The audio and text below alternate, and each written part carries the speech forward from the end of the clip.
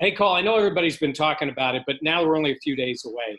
Uh, the idea of no fans in the stands, uh, is that something you're, I mean, you've played in big crowds everywhere. You have to get mentally ready for any place you play.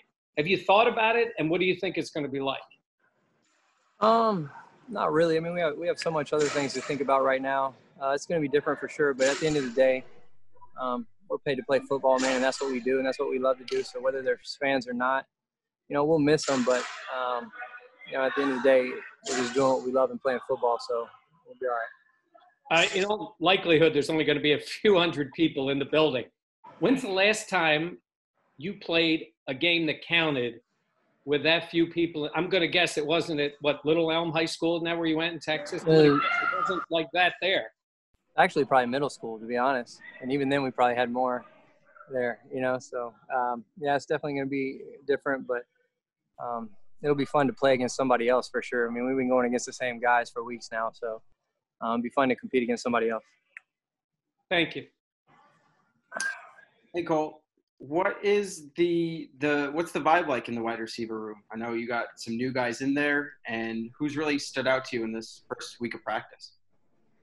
I mean, you know, everybody's doing a great job. You know, the young guys have done a good job of picking up the offense early. Um, we we got a smart young group in.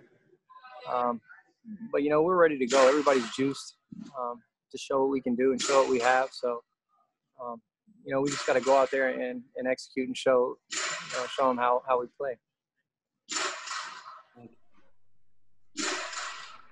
Hey Cole, uh, Matt Parrino here. Thanks for taking a few minutes today. Um, obviously, you know Jamal Adams, some of your you guys were very familiar with last year. Um, not in the mix anymore. You know, in breaking down early in the week here, this this deep or this uh, Jet secondary, what do you guys got to do to be successful against them?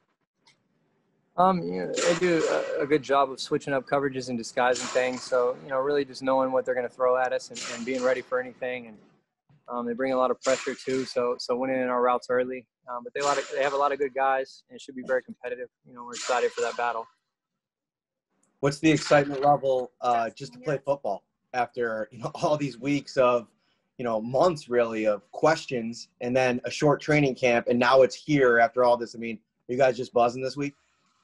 Yeah it's just good to get get some normalcy back you know and and uh, getting back to what we know how to do um, and getting to do it every day. You know you kind of take the i think we kind of realize how important those things are and uh, you know we took it for granted a little bit and then it got taken away from us in the off season and we had a long break but um, you know, I think it made guys realize how much um, they really need football and love football. So it's just, it's just good to get back at it and, and be back in the locker room with um, with all the guys that, that we play with.